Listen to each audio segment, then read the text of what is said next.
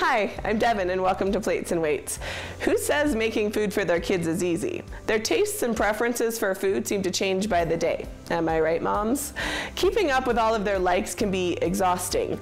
There's a misconception that eating healthy has to involve foods with weird names and foreign tastes, and that notion, quite frankly, doesn't appeal to me and certainly wouldn't fly with my kids. While we do like to experiment with new foods to see if there is something we can incorporate into our food palette, I find the best way to get kids to eat healthy with you is to get them involved in the process. I've heard of some people making a healthy meal for themselves, then something the kids will eat, and then something their spouses like. That sounds like way too much work for me. I make one meal for all of us, but it wasn't always this way. It took a few years to get everyone on board.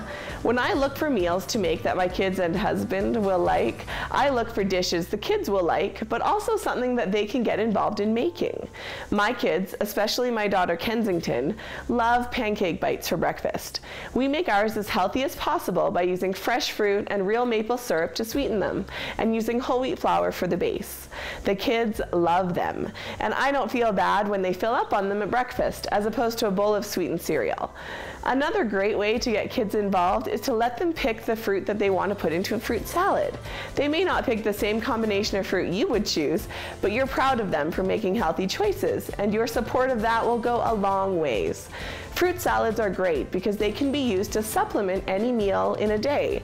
They make great snacks and can even turn into a meal on their own. If you're looking for some added protein, you can always use Greek yogurt, lightly sweetened with real maple syrup. My family also likes to pair a whole wheat English muffin with a fried egg and cheese on it with their fruit salad on the side.